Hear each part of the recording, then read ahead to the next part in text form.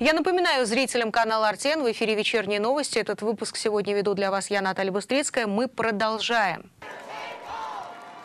Good evening. I'm Charlie Kirk, founder of Turning Point USA and Turning Point Action. Камала Харрис знала о тяжелом состоянии Байдена, но молчала об этом из-за собственных амбиций, заявил журналист и политический активист Чарли Кирк. Камала знала, что Байден болен и не справляется со своей задачей. Она привела его на бойню и теперь занимает его трон, написал Кирк в соцсети X. По его словам, Харрис ставит свои цели превыше интересов страны. Она расчетливая, бессердечная, жаждущая власти женщина, которая отбросит Америку ради собственных амбиций, считает Кирк. В воскресенье Байден объявил, что не будет бороться за переизбрание Демпартии, но намерен выполнять обязанности до конца срока. Он поддержал кандидатуру Харрис на ноябрьских выборах.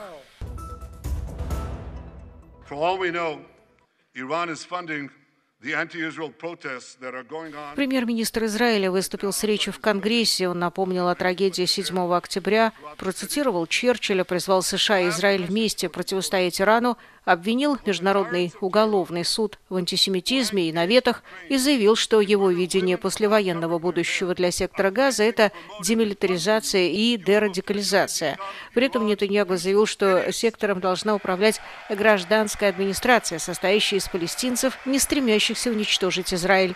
Премьер почти ничего не сказал в своей речи о сделке с Хамас по, по освобождению заложников. Наоборот, он заявил, что Израиль будет сражаться до полной победы, включающей уничтожение военных возможностей хамасовцев, и таким путем вернет заложников. При входе в зал Нетаньягу встретили аплодисментами. Премьер-министр прошел мимо Чака Шумера, лидера демократического большинства в Сенате, и не пожал ему руку. Мои друзья, я пришел заверить вас, мы победим. Торжественно начал премьер, затем он обратился к событиям 7 октября, заявив, что, как и 7 декабря 1941 года, атака японцев на Перл-Харбор и 11 сентября, 7 октября – это день, который навсегда останется в памяти как день катастрофы. Три тысячи террористов вошли в Израиль и убили 1200 человек, включая 39 американцев. Одна из освобожденных заложниц, Ноа Аргаман, находилась в зале. 7 октября весь мир увидел отчаяние в ее глазах, когда ее увозили в Газу на мотоцикле, напомнил премьер-министр. Нетаньягу перечислил других родных похищенных, которые приехали вместе с его делегацией в США. В их числе был Ильягу Бибас, дедушка рыжеволосых малышей Бибас, похищенных боевиками. С нами сегодня также члены семьи американских заложников. Боль, которую испытали эти семьи, неописуема. Я встретил их снова и пообещал им, что не успокоюсь, пока все их близкие не вернутся домой, заявил политик. Нетаньяго поблагодарил Байдена за его усилия вернуть похищенных, а также за поддержку Израиля. Байден встретится с Нетаньяго в Белом доме завтра, в четверг. Встреча Нетаньяго и Трампа запланирована на пятницу. Она пройдет в поместье Мар-Лаго во Флориде. Россия должна прекратить войну в Украине, чтобы в Германии не размещали американские ракеты, заявил канцлер ФРГ Олаф Шольц в ходе летней пресс-конференции в Берлине. По словам канцлера, решение разместить ракеты призвано гарантировать, что в Германии войны не будет. В начале июля Белый дом сообщил, что в 2026 году Соединенные Штаты начнут эпизодически размещать на территории Германии дальнобойное оружие. Deutsche Welle отмечала, что в Германии впервые со времен Холодной войны будут размещены системы вооружений, способные достичь территории России. Представитель Путина Дмитрий Песков говорил, что Россия обладает достаточным потенциалом для сдерживания в случае размещения дальнобойных ракет США в Европе. Но российские ракеты придется нацелить на европейские столицы. Это цитата. В МИД РФ не исключали, что Россия в ответ на размещение американского оружия в Германии может развернуть ракеты, в том числе с ядерным оснащением.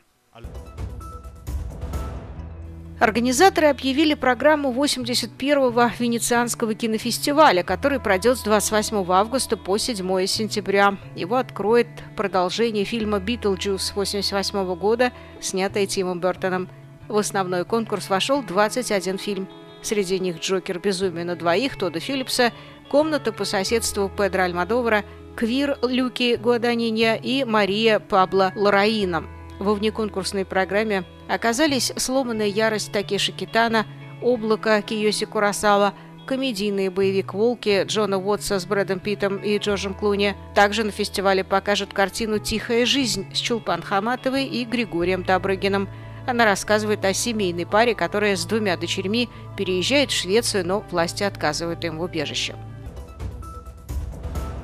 На маркетплейсах бойко идет торговля фальшивыми тестами на беременность. Эти бутафорские тесты всегда показывают две полоски, даже если опустить их в обычную воду. Десятки объявлений о продаже и тысячи восторженных отзывов покупателей демонстрируют, что товар действительно пользуется популярностью и востребован у женщин. Психологи говорят, что есть две главные причины, которые толкают женщин на шутки о псевдобеременности – убедиться в надежности избранника и заставить партнера официально оформить отношения. В обоих случаях розыгрыш не поможет получить желаемого, предупреждают аналитики.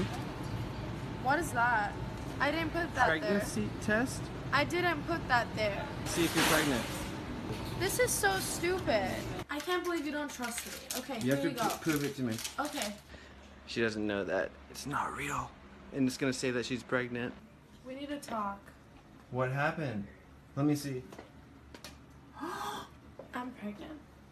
Oh my god.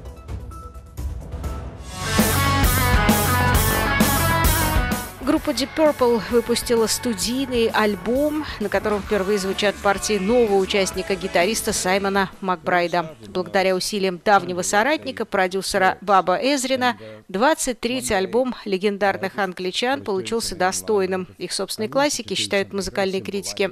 Вместо Стива Морса, который проработал с 94 по 22 год и ушел, чтобы сосредоточиться на уходе за больной женой, на гитаре теперь играет Саймон Макбрайд – как сказал Морс перед тем, как покинуть группу, я торжественно передаю ему ключи от хранилища, где спрятан секрет рифа «Smoke on the Water». Макбрайду 45 лет, он из Белфаста. В громких проектах замечен не был. Карьеру начинал в качестве техника и водителя гастрольных фур. Deep Purple его приняли как родного. Перед первым турне им хватило двух репетиций, чтобы притереться друг к другу. Разве что внешне он не слишком вписывается в канонический образ легенд хард-рока. Короткая стрижка, повседневный наряд без выкрутасов. Концерты Лиловых давно строятся так, чтобы давать вокалисту больше отдыха. Отсюда и все более затяжные инструментальные соло. Новые записи Deep Purple придуманы так, чтобы Ян Гиллан, а ему уже 78, полностью реализовался в рамках своих сегодняшних вокальных возможностей. Судя по первым реакциям фанатов, самое большое впечатление на них произвела песня «Bleeding Obvious», которая идет на альбоме «Последний». Спасибо вам за внимание. Это все новости к данному часу. Оставайтесь на нашем канале RTN. Э, смотрите его каждый день. До встречи.